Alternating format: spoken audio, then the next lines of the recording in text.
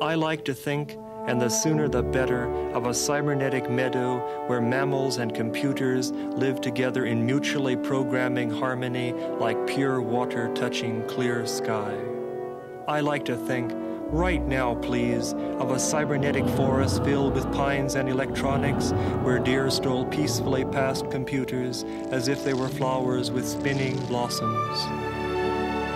I like to think it has to be of a cybernetic ecology where we are free of our labors and joined back to nature, returned to our mammal brothers and sisters, and all watched over by machines of loving grace.